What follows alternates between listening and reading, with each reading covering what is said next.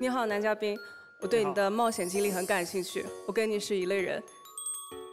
呃，你刚刚去的那个坦桑尼亚，那个看动物大迁徙，应该是我下一年的目标。我之前去的是纳米比亚。哦，纳米比亚。有点类似，但是没有坦桑尼亚那么震撼，这一点特别戳我。对。可以找找一个时间去一下。哎，你看动物大迁徙看了之后，你的人生观有改变？呃，就动物迁徙啊，就是其实特别震撼。就是你看那个角马过那个马拉河，这个角马就是一眼望不到头，然后伴随着呃他们的嘶鸣声，然后河里面还有那个鳄鱼虎视眈眈地看着他们。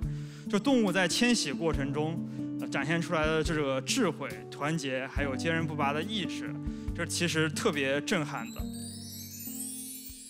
因为他们明知在迁徙的过程中会遇到这样或者那样的危险，呃，或许可能会失去生命，但是他们为了种族的繁衍，还是会义无反顾的，呃，继续前行。